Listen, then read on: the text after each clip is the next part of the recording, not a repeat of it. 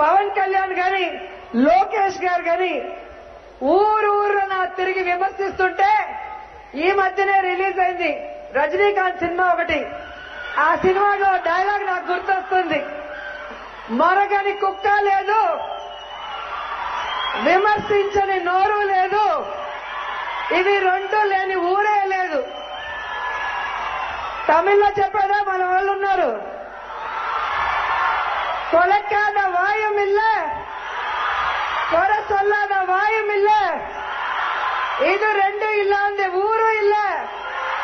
புரியுதா రాజా అర్థమైందా రాజా సో ఈ రోజు పవన్ కళ్యాణ్ ఎంత విమర్శించినా లోకేష్ ఎంత మొరిగినా చంద్రబాబు నాయుడు ఊరూరు తిరిగి ఎన్ని అబద్దాలు చెప్పినా ఈ రాష్ట్ర ప్రజలు మంచి చేసిన జగన్ అన్నని మర్చిపోరు. Twenty twenty four!